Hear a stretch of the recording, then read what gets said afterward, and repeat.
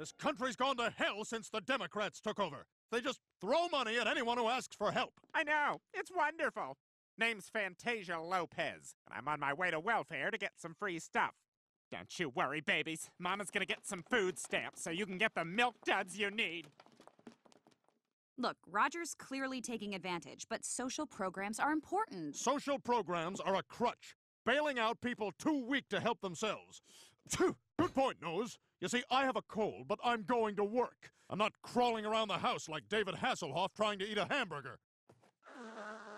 Hey, Dad, before you leave, can you help me with my homework? No! Everyone asking for help. Don't study things you can't grasp. Honey, I'm late for the supermarket. Can you get my zipper? No! Don't wear clothes you can't manage. She's choking! Dad, do something! No! Don't eat food you can't handle. Do not help her, Francie! Come on, Hayley. And get yourself out of this.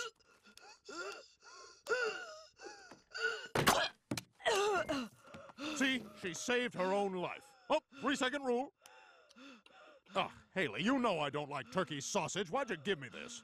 Francine, you should move your car. It's street cleaning today. Oh, thank you, Al.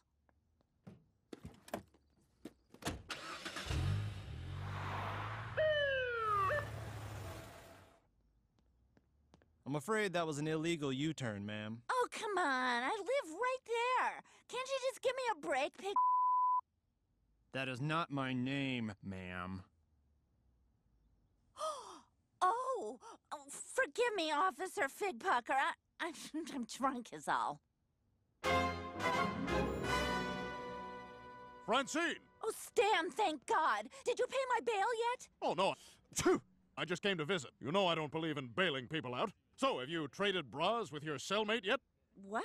Like at summer camp. You think girls trade bras at summer camp? I would. I'd get rid of my ratty old beige bras and trade up for something lacy. Stan, listen. It's okay for people to ask for help. Like when they're in a drunk tank with a guy who calls himself Mr. Businessman. I'm wearing a suit, you see. Francine, I'm sorry, but you need to get yourself out of this mess. Now, I've got to go home and nurse this cold with some soup. Chunky beef. Want me to be your husband? You're right to make me earn it.